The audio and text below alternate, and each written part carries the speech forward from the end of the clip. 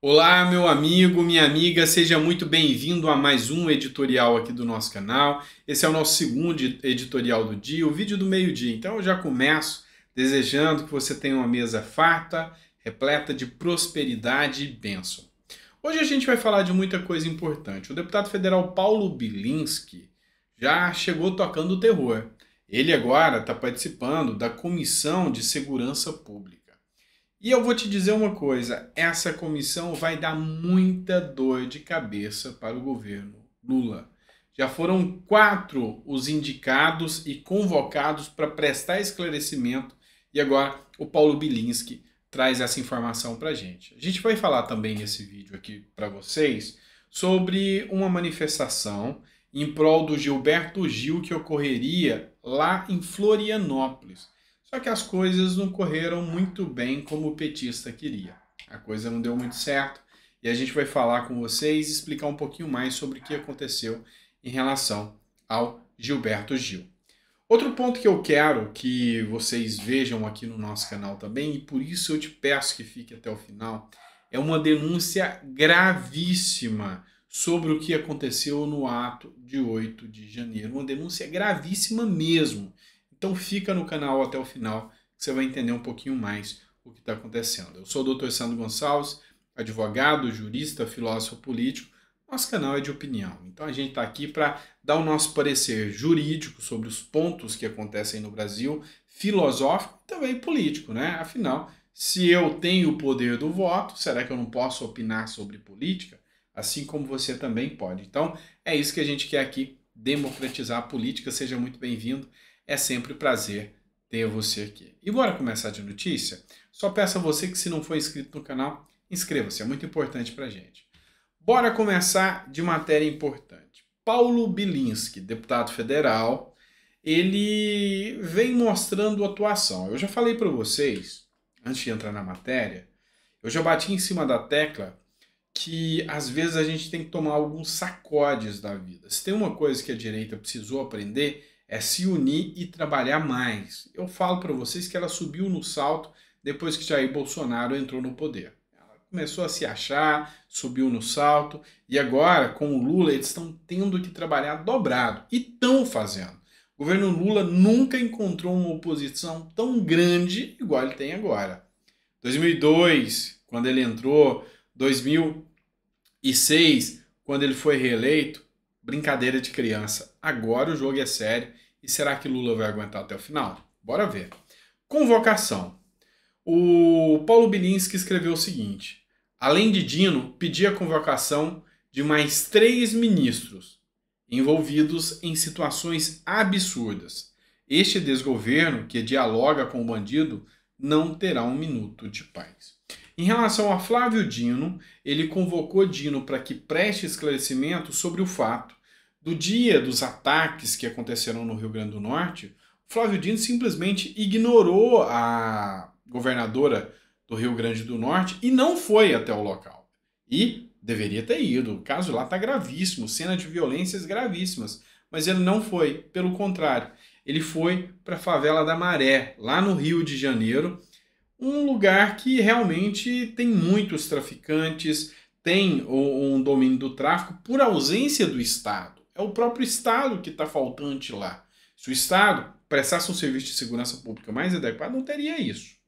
Flávio Dino se defendeu, falou que eles estão tentando é, fazer uma discriminação contra o pessoal da favela, que não é bem assim. Mas assim, ele ainda vai ter que prestar esclarecimento.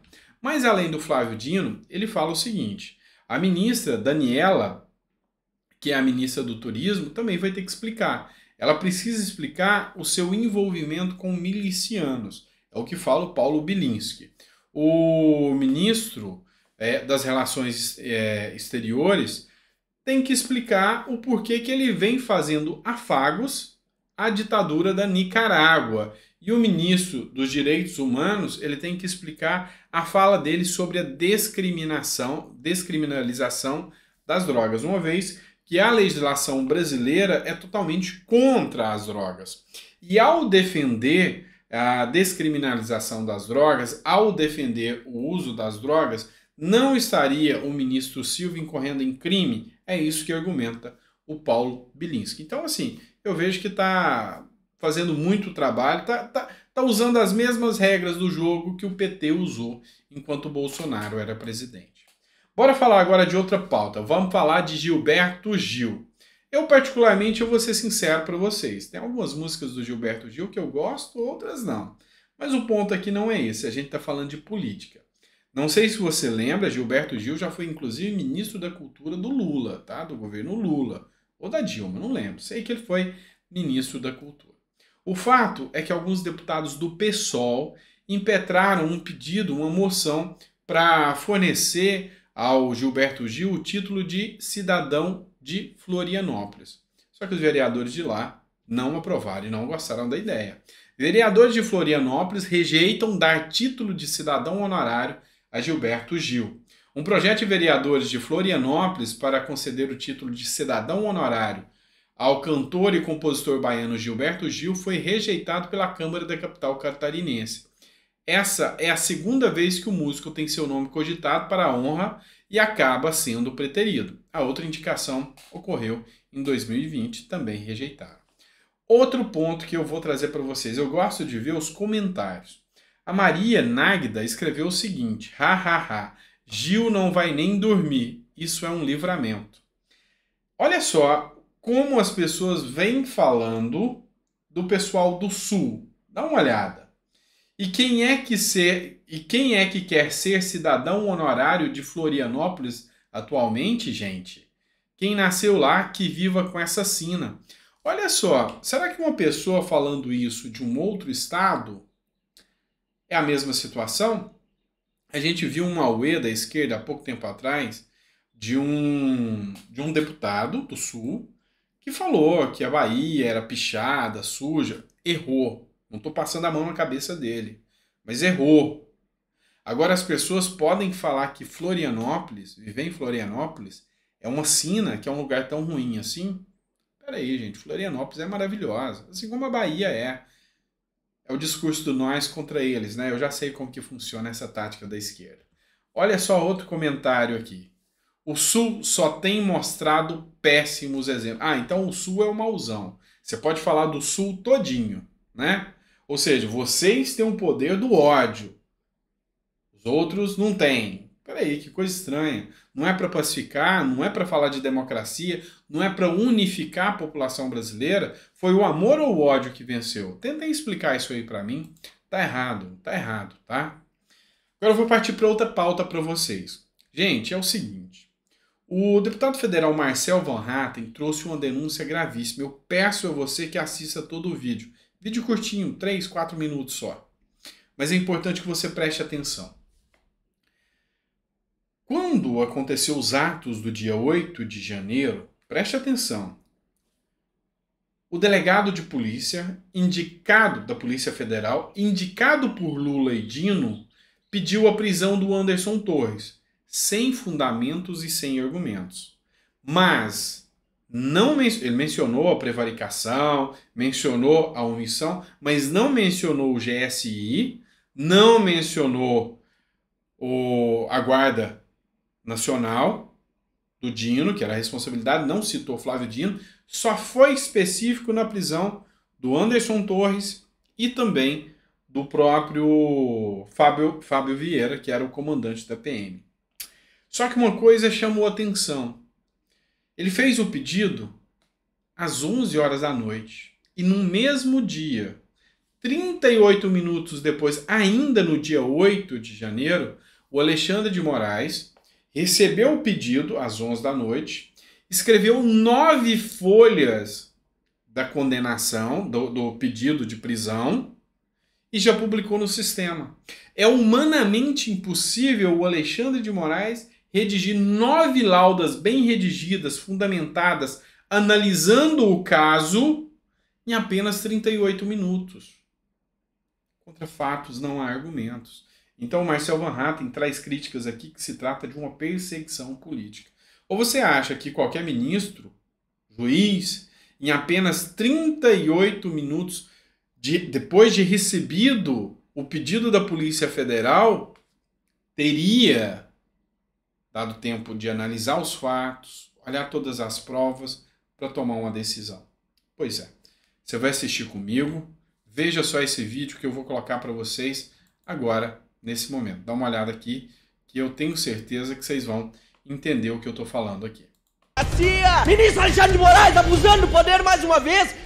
Tem aqui uma denúncia que é gravíssima, gravíssima sobre os ocorridos no dia 8 de janeiro, envolvendo o senhor ministro Alexandre de Moraes, o delegado de Polícia Federal, Andrei Augusto Passos Rodrigues, diretor-geral da Polícia Federal, que pediram, ele pediu e Moraes determinou a prisão a prisão de Anderson Torres e do coronel Fábio Augusto Vieira. Por que é uma denúncia gravíssima, senhor presidente? Deputado Lafayette, Vossa Excelência que tem experiência. O delegado de Polícia Federal, André Augusto Passos Rodrigues, pede a prisão de Anderson Gustavo Torres e o comandante da PM, Fábio Augusto Vieira, assinada digitalmente dia 8 de janeiro, às 23 horas e 22 minutos. Alexandre de Moraes assina, ainda no dia 8 de janeiro, uma decisão de nove laudas. Nove laudas determinando a prisão de Anderson Gustavo Torres e Fábio Augusto Vieira. Seriam apenas 38 minutos até o fim daquele dia.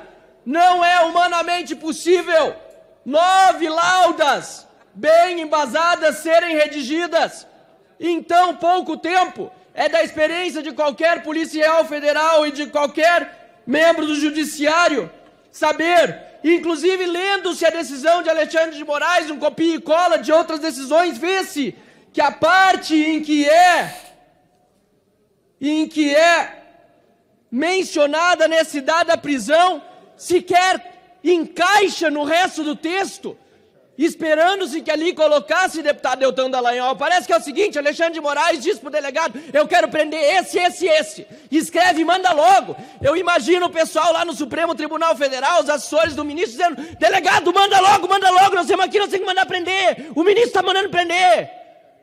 Isso é um absurdo! Isso não existe no Estado de Direito! Isso não existe numa democracia!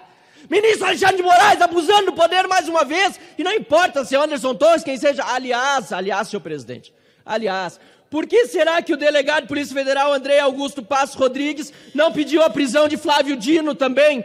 Ele fala aqui dos atos preparatórios e diz que se estava sabendo, deputado general Girão, que ia acontecer a invasão, mas não menciona o GSI, não menciona os mais de 40 ofícios recebidos no governo federal provenientes de vários órgãos, inclusive da ABIN, dizendo que haveria invasão. Eu pergunto, por que André Augusto Passos Rodrigues não pediu a prisão de Flávio Dino, ministro da Justiça também? É só ir na imprensa para saber que o delegado que comanda a Polícia Federal é exatamente André Augusto Passos Rodrigues, indicado por Lula e por Flávio Dino.